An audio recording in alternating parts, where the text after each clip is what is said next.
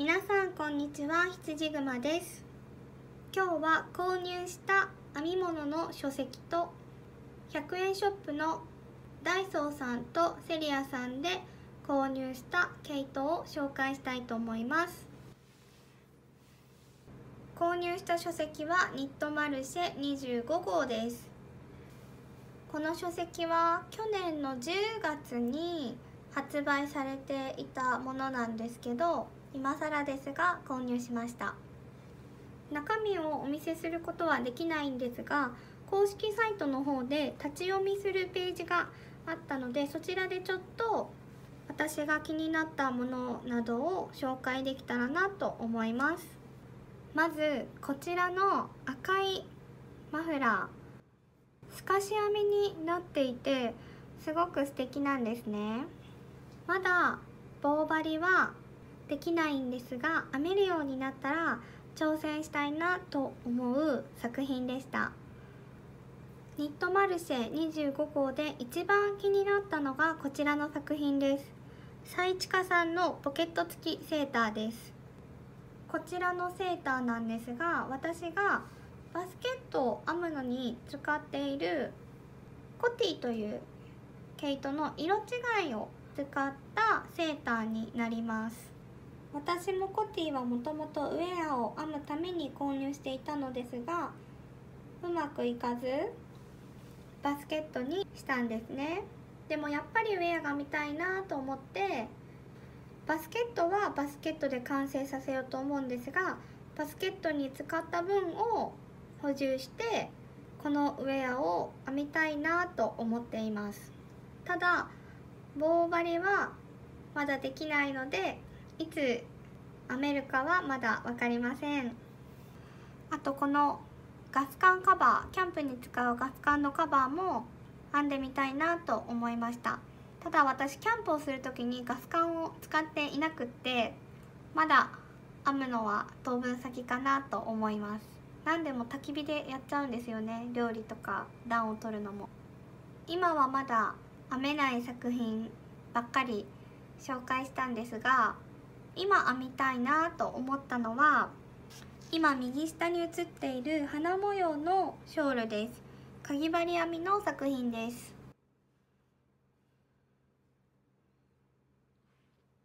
こんな風に花模様になっています。とっても可愛いです。あと他にもグラニースクエアの編み方も載っていて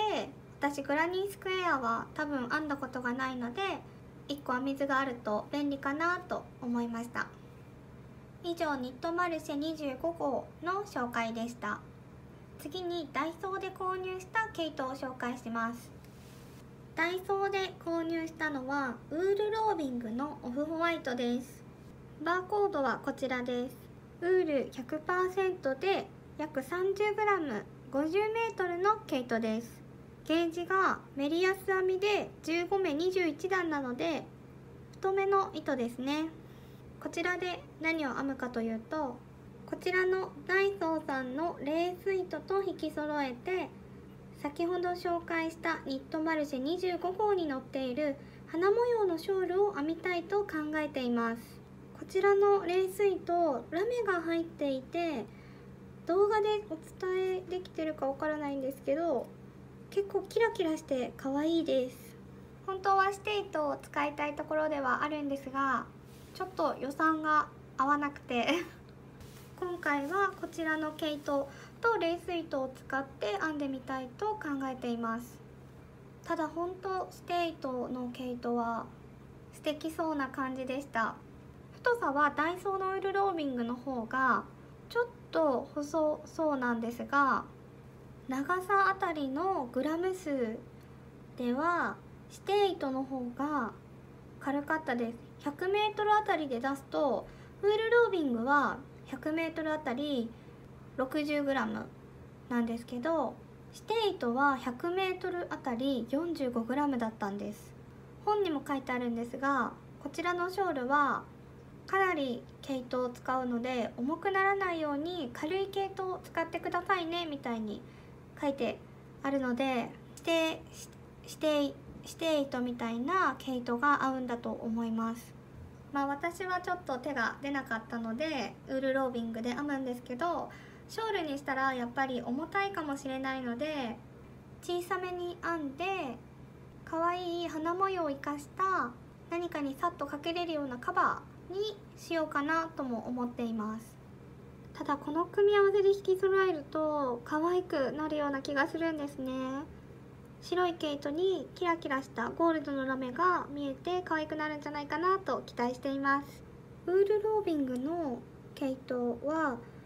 ロービングという加工が多分よりがあまりないような加工の仕方だと思うんですけど毛糸を作る際のそのせいかすごく毛糸がふわふわしていてダイソーさん他にもウール100%の毛糸置かれていると思うんですけどそちらより肌触りも優しい感じがするなと私は思いました。あとこちらの毛糸を私の大好きな編み物をなさる YouTuber の方が使って作品を作っていらっしゃってそれで私も何か作りたいなと思いました。花模様のショールまだ編み始めて全然いないのでうまく編めなかったとしてもこちらの毛糸は大切に使っていきたいなと思っています。あとウールが大好きなのでウール100%なのもいいですね。次にセリアで購入した毛糸を紹介します。こちらの毛糸です。大人グラデーションです。バーコードはこちらです。こちら大人グラデーションの色番が5番の毛糸です。この毛糸はアクリル91%ナイロン 9%25g で 60m の毛糸です。ゲージは23目28段です。残念ながらこの毛糸はウールは入っていません。でもだからこそ肌触りはもう満点何も言うことがないぐらいすべすべするするサラサラっていう感じでチクチクは全くしないです。実はこちらの毛糸も先ほど私が言っていた私の大好きな編み物をなさる YouTuber の方が使って作品を作っていらして色は違うんですけどその方がこの毛糸を大絶賛していたのでずっと気になっていた毛糸なんですね。でも何を作るか決められないでいて購入できていなかったんですが今回この毛糸で私のルームソックスを作る予定です。以前夫にルームソックスを作ってそれはその様子も動画にしているんですけどそのルームソックス実は自分に作る予定で途中から夫に作るように変更したんですね。でそこからルームソックス編んでいなくって結局自分のルームソックスが私なくってで作りたくってこの毛糸を選んでみました。こちらの洗濯表示があるので洗濯も可能ですよね。こちら段染めの毛糸なんですが玉によって色合いが全然違ったりして玉を選ぶ段階からすごく楽しかったです。同じカラーナンバーだけど全然違う玉に見えたりしていました。こちらも今日買ったばかりでまだ編んだり全然していないので編むのがすごく楽しみです。今日はダイソーさんとセリアさんに行ってきたんですけど両方とも毛糸が補充されたばっかりなのかなと思いました。個人的にそろそろもう毛糸は入荷がないのかなと思っていたので補充されていて嬉しかったです。編んでみたいけどもう玉数が売っていなくって買わないでおいた2つの毛糸も購入することができて嬉しかったです。ダイソーさんではメランジも、えっと、グレイッシュブラウングレイブラウン茶色っぽい毛糸が3玉だけ売ってあって私は購入しなかったんですけどいつも瞬殺で売れてしまうので久しぶりに見たなと思いました。年が明けて毛糸の福袋も気になるなと思ってパンドラハウスさんと東海さんにも行ってきました。パンドラハウスさんは1日にで30玉があの1,000円で買える福袋を見たんですけどもう袋に30玉毛糸が詰められていて好みの組み合わせの毛糸がなかったので購入はしないでおいて東海さんではミックスロールという毛糸の福袋が気になっていて東海さんでは4玉自分でミックスロールから選ぶことができたんですけど